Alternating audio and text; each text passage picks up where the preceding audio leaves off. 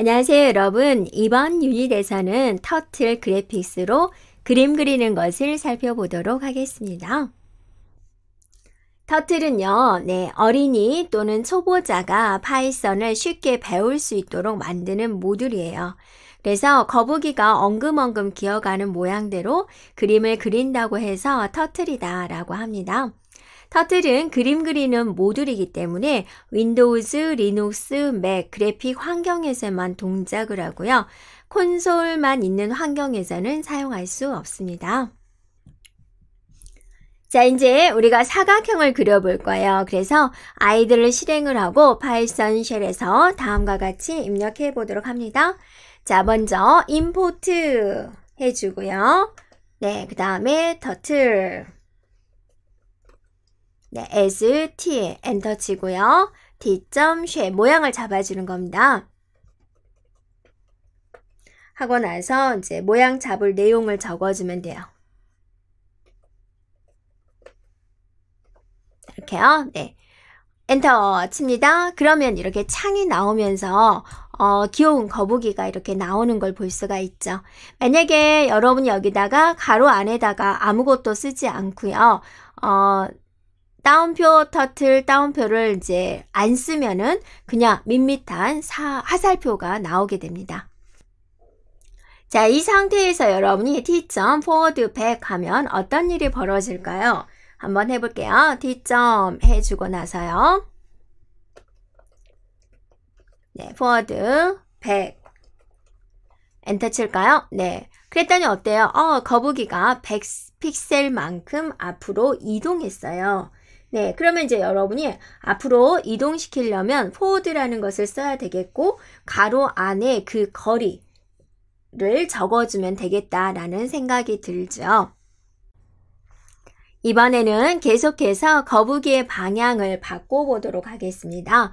그래서 거북이의 방향을 오른쪽으로 90도 회전을 시키도록 합니다. 자, 그러면 여기를 이제 T점 하고 나서 방향, right. 그 다음에 몇 도, 90도 이렇게 할게요. 자, 거북이의 방향이 어느 쪽으로 가는지 잘 보세요. 엔터 칩니다. 네. 그랬더니 어때요? 방향이 샥 바뀌는 거 볼 수가 있죠. 이번에는 앞으로 100만큼 이동시키도록 하겠습니다. 그러면 자 이렇게 앞에서 썼던 명령어처럼 forward 하고 나서 네, 괄호하고 숫자를 이렇게 적어주면 되죠. 엔터 치겠습니다. 엔터 쳤더니 이렇게 이동하는 걸 볼 수가 있죠. 우리가 사각형을 완성하려고 하니까 이제 명령어를 응용해 가지고 만들 수가 있죠. 이 상태에서 어때 이제 방향을 바꿔야 되겠죠. 90도 방향 바꾸기 하기 위해서 이제 t right 네, 90 하도록 합니다. 엔터 치면 방향을 바꿨어요. 그리고 어때요? 앞으로 100만큼 나아가 줘야 되겠죠? 그래서 t 네, forward 100 해주고 엔터 100만큼 갔죠. 그 다음에 어떻게 하죠? 또 방향 바꿔야죠. 네, 그래서 t right 90 엔터 자 방향 바꿨어요. 그 다음에 또 어때요? 앞으로 100만큼 가야 되겠죠? t forward 네, 100 네, 엔터 칩니다. 그러면 이렇게 이제 어, 사각형 모양이 만들어졌죠. 네.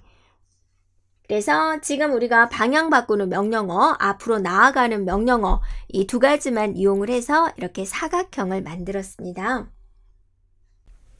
자, 우리가 음, 터틀 모듈에서 앞으로 이동하는 거, 오른쪽 회전하는 것을 이제 이용을 했는데요.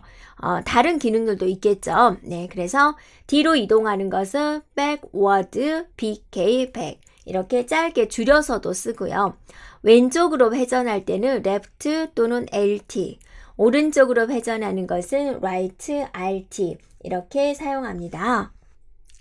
지금까지 그린 사각형을 FD, RT 이렇게 줄여서 쓸 수 있다라고 그랬죠? 그러면 FD와 RT로 한번 다시 한번 코드를 만들어 보도록 할까요? 네, 처음엔 import, 네, turtle, as t 쓰는 거죠. 네. 그 다음에 T점. shape 해주고, turtle. 네, 됐죠. 네, 그러면 자, 이런 모양이 준비가 됐어요. 이렇게요. 자, 우리가 이제 화면 조금 줄여서 네, 보도록 할게요. 변화되는 모양을 한번 보세요. 사각형이 그렇게 크지 않으니까. 자, 그 다음에 이제 음, 앞으로 100만큼 움직이세요. 라는 거죠. D점 FD 100. 네, 그랬더니 100만큼 갔죠. 그 다음에 방향 바꿔야죠. 네, D점 네, RT 90도. 자, 방향 바꿨죠? 또 앞으로 가기 FD 100. 자, 100만큼 앞으로 가세요. 그리고 나서 어때요? 또 방향 바꾸세요. 하고 나서 90. 자, 방향 바꿨죠? 자, 또 앞으로 나아가세요. FD 100 해주면 되죠? 나아갔어요. 자, 또 방향 바꾸세요. 라고 해서 네, 90 해주면 되죠. 방향 바꿨죠? 자, 그 다음에 앞으로 나아가세요. FD 100. 네, 이렇게 해주면 네, 어, 급한 마음의 친이라고 네, FD인데요. 네. 됐죠? 엔터.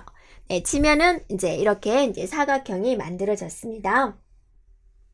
자, 여기까지 우리가 터틀을 이용해서 사각형을 그려보았습니다.